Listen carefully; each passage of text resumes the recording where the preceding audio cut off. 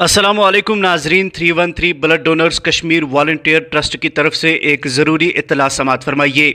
Three one three blood donors Kashmir volunteer trust इस ईद उल अजहा के मौके पर मुस्तक फैमिलीज़ में साठ फ़ूड किट्स या साठ ईद किट्स तकसीम कर रहा है। इस सिलसिले में जो भी रजाकाराना तौर पर इन चीज़ों में से कुछ भी डोनेट करना चाहता है, जैसे मस्टर्ड ऑयल, आटा, मिर्ची, हल्दी, शुगर, साल्ट, नून चाय, लिप्टन चाय soap, bakery, refined oil, milk, paneer, chicken वगैरह डोनेट करना चाहता है तो दिए गए नंबरात पर रबता कायम करके ये चीज़ें आप डोनेट कर सकते हैं ताकि ये मुस्तक फैमिली तक पहुँचे।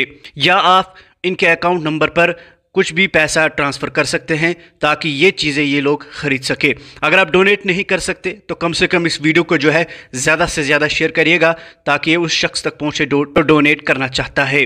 लिहाजा आपसे गुजारिश रहेगी कि इस वीडियो को जो है ज़्यादा से ज़्यादा शेयर करिएगा। ये थी एक ज़रूरी इतला three one three blood donors Kashmir volunteer trust की तरफ़ से।